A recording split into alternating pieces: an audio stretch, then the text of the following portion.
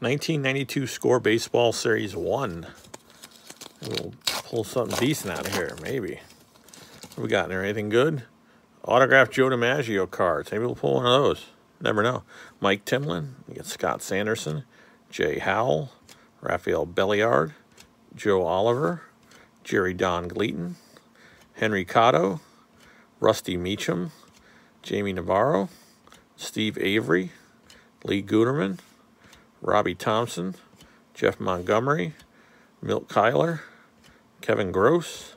And Tom Brunansky. Well, we pulled a pack of hot shit right there. Wow, that sucked. Thanks for watching.